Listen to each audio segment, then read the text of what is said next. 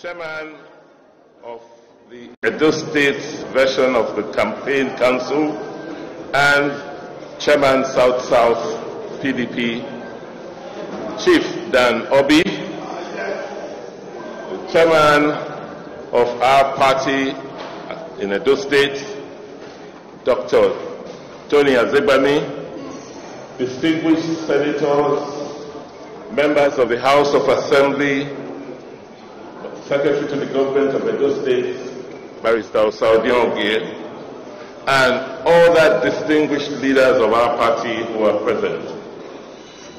Gentlemen of the press, the great people of Edo State have spoken, and they have spoken loud and clear. We thank God Almighty and give Him all the glory for this victory.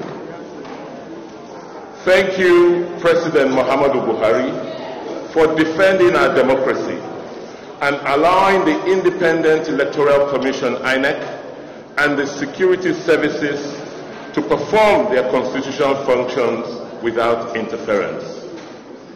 INEC and the security services have shown Nigerians and the world indeed that they are capable of conducting free and credible elections.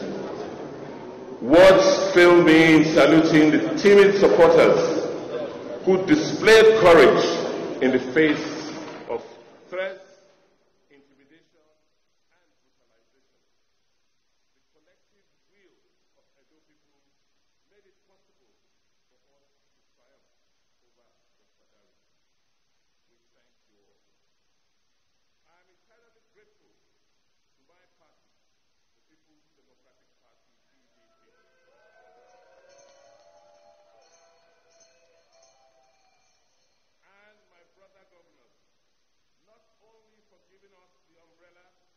during our political storm, but for the hard work which has brought me back to office.